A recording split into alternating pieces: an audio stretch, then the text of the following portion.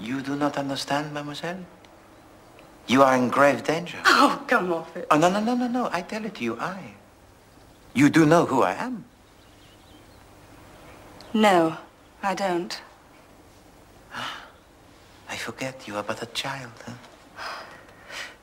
Hello, my friend here, Captain Hastings, he will tell it to you.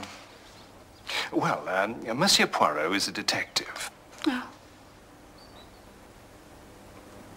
Um, a, a great detective. My friend, is that all you can find to say? Mais dis donc, say then to mademoiselle that I am the detective unique, unsurpassed, the greatest that ever lived. Well, it doesn't seem much point now. You've told her yourself. Ah, yes, but it is more agreeable to preserve the modesty.